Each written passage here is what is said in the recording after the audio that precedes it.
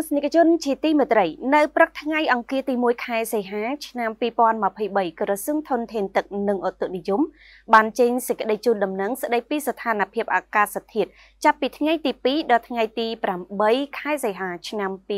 2023កម្ពុជាអាចមានភ្លៀងធ្លាក់ពីតិចទៅបង្គួរលាយឡំដោយផ្គររន្ទះនិងខ្យល់កន្ត្រាក់ស្របពេលជាមួយគ្នាក្រសួងក៏អំពាវនាវទៅកាន់ប្រជាពលរដ្ឋទាំងអស់ប្រុងប្រយ័ត្នខ្ពស់ចំពោះបាតុភូតធម្មជាតិដែលអាចនឹងកើតឡើងជាជាក់ថាហេតុក្រសួងធនធានទឹកនិងអូតូនិយមនៅព្រឹកថ្ងៃទី1ខែសីហាឆ្នាំ2023បានចេញសេចក្តីជូនដំណឹងស្តីពីស្ថានភាពអាកាសធាតុចាប់ពីថ្ងៃទី2ដល់ថ្ងៃទី8ខែសីហាឆ្នាំ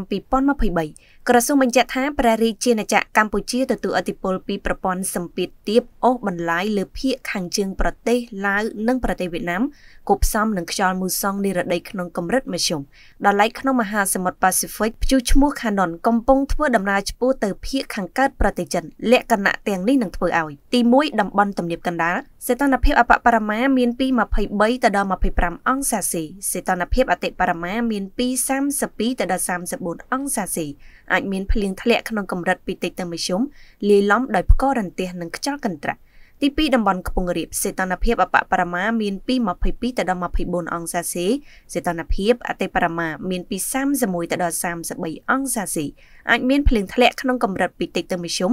លាយឡំដោយផ្គររន្ទះនិងខ្យល់កន្ត្រាក់ ទី3តំបន់មាត់សមុទ្រសីតុណ្ហភាពអបបរមាមានពី22ទៅដល់24អង្សាសេសីតុណ្ហភាពអតិបរមាមានពី29ទៅដល់31អង្សាសេ